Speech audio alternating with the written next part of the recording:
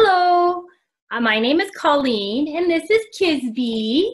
She's a 12 and a half year old boxer, and she's a retired St. John's Ambulance Therapy dog. And the book we chose today is called Three Easy Steps to Getting a Dog. And I chose this book to read to Kisbey and you because thinking about, I was thinking back to when we got Kisbey and what a commitment it is um, to get a dog. So during this time of COVID 19, we, I know people are adopting dogs and fostering dogs, and it's really important that we put a lot of attention to this long term commitment for the most part that we're making. So, yeah, thinking back about Kisbey as a puppy in the house and, and all the challenges we had and so forth, we had to make sure our choice of, of bringing Kisbey home with us was right for us and right for her. So, for everybody's mental health. So, anyways, that's why we chose the book today. And I'd like to give a big shout out, thank you to Scholastic Canada for allowing us to read the book. Um, yeah, because reading aloud can be really meaningful and a way to connect, a way for me to connect with Kisbey, right, Kisbey, and with you as the audience. Okay, so let's get started. Let's see, maybe Kisbey wants a cookie. Want a cookie? Okay, she wants a cookie. So, three easy steps to getting a dog by Melanie Joy and illustrations by Chum McLeod. Hi, I'm Quentin. I love dogs and I really want one. I need to convince my mom and dad to buy me a dog. I've thought of asking them, but when I asked for a dirt bike, they said, We'll think about it. Then that's all they did think, think, think. I'm still waiting for them to stop thinking. This time, I'm taking a new approach. I won't ask. I'll do their thinking for them. I'm going to gather information, make an argument, and convince them that having a dog is a great idea.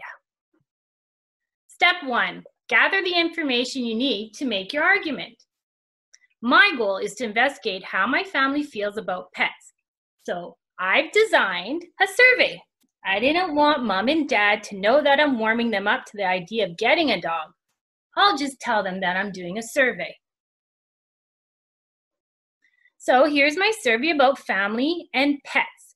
They ask questions like Do you have any allergies? Would you ever want a pet?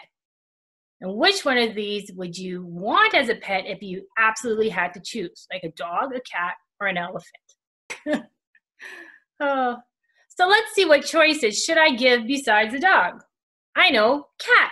My sister is allergic to cats. Nobody will pick cat. And an elephant. Nobody's even allowed to keep an elephant as a pet in the city limits. Who would want to clean up after an elephant, anyways? I clean up after Kisbey all the time, and that's enough. Wow, that was easy. Here's the answers. It looks like most of my family wants a pet, even dad. But I see that I have one major problem. Want another cookie? Cookies solve problems. Mom. Step two, identify counter arguments. Why wouldn't mom want a pet? A pet would be so much fun to walk or wrestle or play catch with. Kisbey loves, loves, loves to play frisbee. We do that quite a bit. Why wouldn't anyone want one? Why, why, why? Right, Kisbey? How can I win mom over to my way of thinking. I have to figure out what she doesn't like about pets. So I write, Dearest Mom, I noticed from the survey that you check no to wanting a pet. What is your reason? And then he gave a couple of questions, a couple of answers, possible responses, like pets smell, pets chew things, pets are too much work, or all of the above. And pets do smell. Sometimes if you don't give them a bath, and I know Kisbey, she liked to chew things. And he put signed your loving son, Quentin. P.S. Take your time, use the back for comments.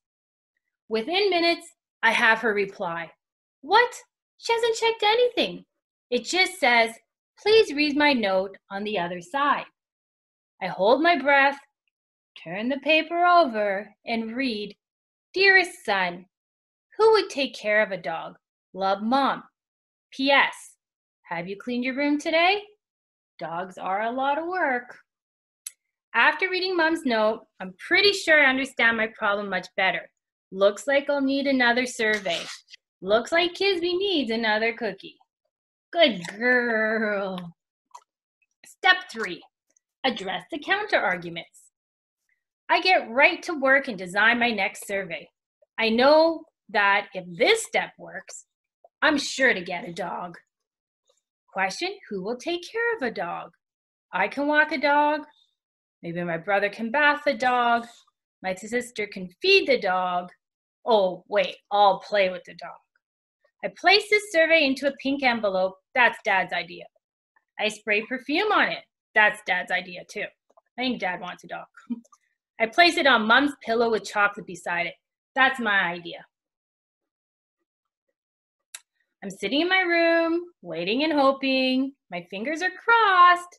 My legs are crossed. My arms are crossed. I feel like a pretzel. Kisbey's gonna cross her paws too for that dog. Suddenly, oh, cookie. Suddenly, an envelope slides under my door. I pick it up. It's addressed to me. I open it and read, Dearest son, thank you for your note.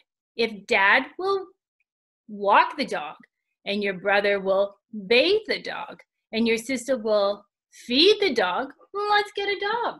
Love, mom. P.S. You can check my name under I will play with the dog. Kisbey and I play a lot. Conclusion Here we are in the pet shelter. I see the dog I want and I run to it and give it a hug. Then I look around. Oh no, everyone in the family is running to a different dog. What am I going to do? Here we go again. I know. Another survey. Step one, I'm going to gather information. What kind of dog is right for our family? Questions like the size of the dog, the color of the dog, the age of the dog. And another really important question is we want to know about the dog and what kind of family is right for the dog. So Kisbey, Kizzy, what you looking at? So Kisbey had to go into a family and that was super energetic because she had so much energy as a boxer puppy and we had to make sure she got outside a lot and that she played and had lots of opportunity to get rid of all that energy. And lots of different types of dogs have different types of energy they all have their own personality. And so even today, at 12 and a half years old, Kisbey still plays frisbee, not as much as she used to, but you like the frisbee? Oops, you're gobbling from your cookie. she still loves to play with her frisbee, and yeah, maybe another time we'll be able to show Kisbey playing frisbee. Anyways, thank you for joining today. Hope you stay safe and have a really good day. Hey, Kizzy. Hi, Kizzy. You're a good girl. Yeah. You're a good girl.